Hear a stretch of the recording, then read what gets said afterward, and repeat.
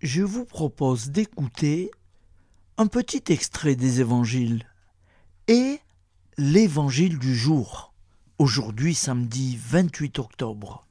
Cherchez premièrement le royaume et la justice de Dieu, et toutes ces choses vous seront données par-dessus. Matthieu 6, 2.33.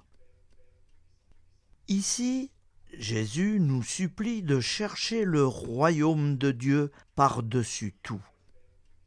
Mais qu'est-ce que cela signifie exactement?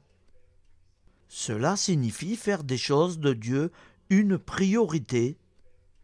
Comment passez-vous votre temps, votre énergie, votre argent aux choses de Dieu ou aux choses du monde?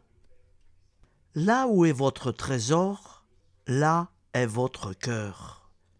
Il est facile de savoir si nous mettons Dieu en premier, si nous regardons nos calendriers et nos comptes bancaires.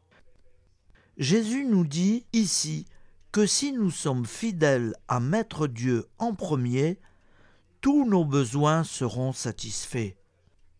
Prions.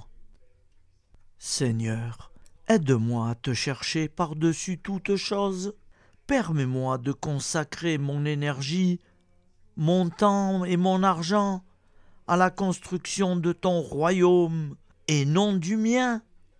Je te fais confiance pour prendre soin de mes besoins quotidiens alors que je te cherche.